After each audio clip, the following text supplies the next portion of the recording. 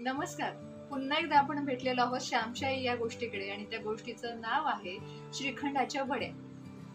ही चौदावी अशी रात्र आहे चौदावी गोष्ट आहे. तर आपण सुरुवात करूया या गोष्टीला. मित्रांनो मी गोष्टीला सुरुवात करते. आमच्या आईला श्रीखंडाच्या वड्या फार चांगल्या करता येत असत. आईचा पाक कधी बिघडत नसे वड्या खुसखुशीत सुंदर व्हायच्या. त्या वड्या करून देण्यासाठी आईला पुष्कळदा शेजारी पाजारी बोलवीत असत. व आईही आनंदाने जात असे. दुसऱ्याच्या उपयोगी पडणे हा तर तिचा मोठा आनंद. पार्वतीबाईंची मुलगी वेणू माहेरी आली होती. पार्वतीबाई व आई यांची मैत्री होती. वेणू पुष्कळदा आमच्याकडे येत असे व आई तिला गाणी म्हणवण्यास लागली. एके दिवशी आई मला रागे भरली होती. त्यावेळेस वेणूने माझे डोळे पुसले होते. वेणू माझ्या मोठ्या बहिणीप्रमाणेच मला वाटे. त्या दिवशी पार्वतीबाई आईला म्हणाल्या श्यामची आई वेणू परवा सर्व वेणू परवा सासरी जाणार तिच्या बरोबर श्रीखंडाच्या वाड्या देईन म्हणते. तुम्ही याल का उद्या तिसऱ्या प्रहरी? तुम्ही कशा छान करता. तिच्या सासरी पाठवायचे आहेत तर चांगल्या चांगल्या झाल्या म्हणजे बरे आपले. माझी आई म्हणाली येईन हो. वेणू परवाच का जाणार? मला वाटले होते की राहील संक्रांतीपर्यंत.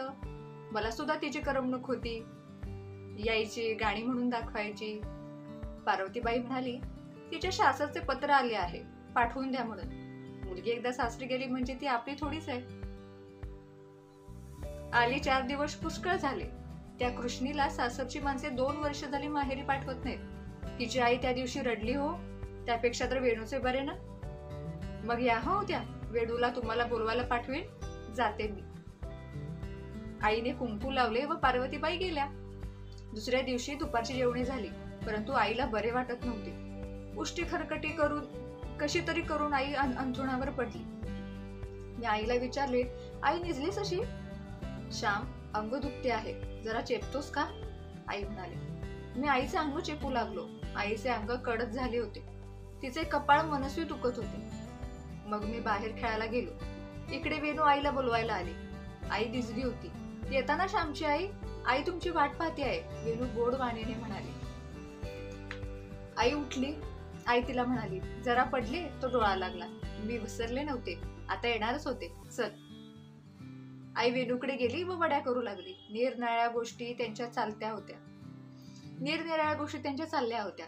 मी खेळून घरी आलो तो आई नाही. मी आईला शोधू लागलो. शेवटी वेणूताईकडे गेलो. मला अंगणात पाहताच काय रे श्याम? आईला पाहायला आलाच वाटते. ये. तुझी आई माझ्यासाठी वड्या करते आहे मी उद्या सासरी जाणार आहे. श्याम? वेणू मला बोलली. मी म्हटले जाणार? मग माझे डोळे कोण पुसणार? आई रागवली तरी माझी बाजू कोण घेणार? मला वेणू जाणार म्हणून वाईट वाटले. येशा आपण केशराची पूड करू. तू ते वेलदोडे नीस व त्याचे दाणे टाक. वेणूच्या कामात मी मदत करू लागलो. वेणूने केशर खाल्ले व मी त्या सहाणेवर वेलदोड्याची पूड केली. श्याम कशाला रे आलास? आईने मला विचारले.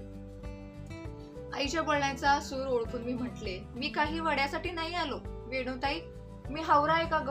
त्या दिवशी तू मला खाऊ दिलास मी मागितला होता का? वेणू म्हणाली श्याम तू चांगला आहेस. श्यामची आई श्यामला रागे भरत नका जाऊ. आई म्हणाली वेणे अगं मला का माया नाही? एखाद्या वेळेस राग होते पण त्याच्या बऱ्यासाठीच. श्यामला जगाने नावं ठेवू नयेत म्हणून मी त्याची आई एखाद्या वेळेस बोलते त्याला. तो चांगला आहे परंतु आणखी चांगला व्हावा असे मला वाटते. पार्वतीबाई पाक झाला हो. पहा गोळी आली. ताटात वड्या थापण्यात आल्या. आई केळीच्या पानाने भरीत थापित होती. पाच मिनिटे गेल्यावर आईने वड्या पाडल्या व ती म्हणाली पार्वतीबाई थोड्या वेळाने वड्या काढून घ्या मी आता जाते. वेणू म्हणाली थांबा ना थोडा वेळ तुमच्या हाताने सारे करून जा आईला नाही म्हणवेना. थोड्या वेळाने आईने कलथ्याने वड्या काढल्या. कशा सुंदर झाल्या होत्या. पार्वती काकोणी त्या डब्यात भरल्या. वेणूने एक वडी देवाला ठेवली व एक मला दिली. वेणूची आई म्हणाली श्याम हे ताट खरवडून खा घे. मी वीराप्रमाणे पुढे सरसावलो व ताट खरवडून खाल्ले. पार्वतीबाईने आईच्या हातावर चार वाड्या ठेवल्या व आई कुंकू लावून घरी गेली. मी वेणूकडेच बसलो होतो. श्याम तुझे सदराचे बटन तुटले आहे वाटते. सदरा काढून दे म्हणजे नीट लावून देते वेणू म्हणाले. मी वेणूताईला सदरा काढून दिला. तिने फ- फणेरे काढले बायका सुईदोरा वगैरे ज्या चिंच ज्या तंची सारख्या पिशवी ठेवतात त्याला कोकणात फणेरे म्हणतात. वेणुताईने गुंडी लावली व दुसऱ्या ठिकाणी फाटले होते ते ते मी तेथेही शिवले. मी सदरा अंगात घातला. वेणुताई म्हणाली श्याम चल. गुलबक्षीची फुले तोडू व तुझ्या आईकडे घेऊन जाऊ. आम्ही फुले तोडली व आमच्या घरी घेऊन गेलो. माझ्याबरोबर वेणूही आली होती. श्यामची आई? वेणूने हाक मारली.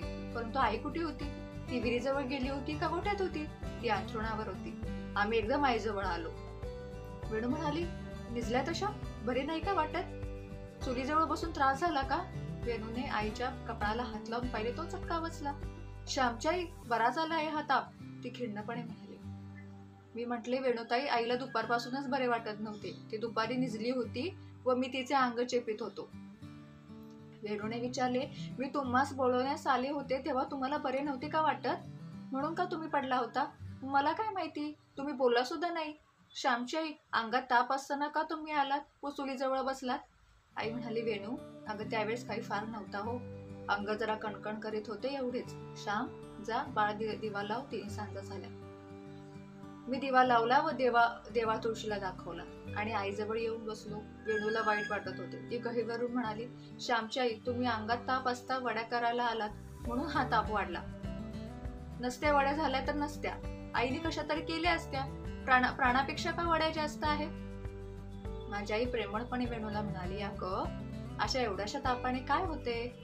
वेणू आम्हा बायकांना त्याचे काही वाटत नाही. अंगात ताप फणफणत असावा कपाळ दुखत असावे तरी धुण्याची मूड घेऊन आम्ही धुवून आणतो.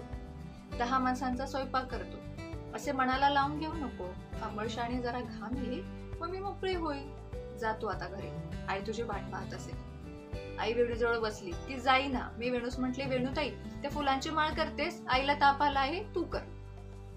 वेणुताईने माळ केली. वेणू आईला म्हणाली श्यामची आई माझ्यासाठी का तुम्हाला त्रास हाता? आई म्हटली वेणे वेड्यासारखे काय बोलतेस? तू मला परकी आहेस का? जशी माझी जंद्रा तशी तू. वड्या चांगल्या नसत्या झाल्या तर तुझ्या सासरच्या माणसाने नावे ठेवली असती. तर तुला किती वाईट वाटले असते?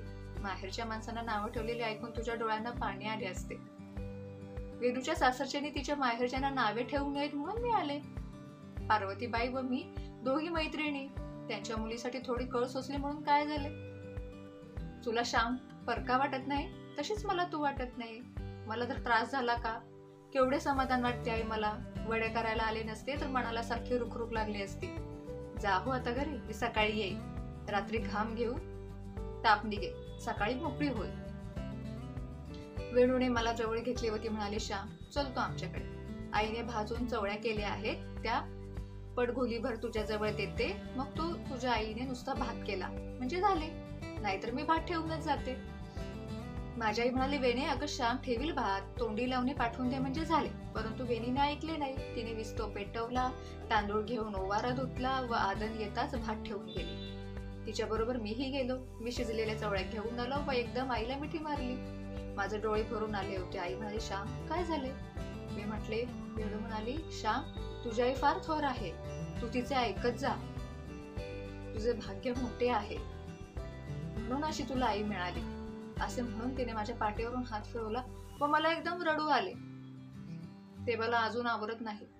जा बाळ भात झाला असेल तर उतरून ठेव नाहीतर खाली उडेल. आईने हळूच सांगितले व मी आज भात उतरून ठेवला. दुसऱ्या दिवशी वेणुताई सासरे गेली. आम्हा सर्वांना वाईट वाटले. त्या श्रीखंडाच्या वड्या मला अद्याप आठवतात वेणूची आई व माझी आई दोघी निघून गेल्या. वेणू सुद्धा जगली नाही परंतु ती प्रेम अजून आहे. ते प्रेम अमर आहे. माणसे मरतात परंतु त्यांचे सद्गुण सदैव चमकत राहतात. वा सुंदर अशी गोष्ट आहे श्यामच्या आईनी एवढं बरं नसताना सुद्धा तिच्यासाठी वड्या केल्या. त्यांना जशी वेणू परकी नव्हती त्यांना जसा श्याम परका नव्हता तशीच त्यांना वेणू सुद्धा परकी नव्हती आणि म्हणून तिच्यासाठी सासरी माहेरच्या लोकांना नावं ठेवू नये म्हणून त्यांनी कळ सोसून ते तिच्यासाठी वड्या बनवल्या. सुंदर अशी गोष्ट आहे. आणि श्यामच्या आईचं करेल तितकं कौतुक खूप कमी आहे. आणि ह्यातून आपल्याला खरंच काही ना काहीतरी घेतलं पाहिजे. एखाद्यासाठी खरंच झटावे.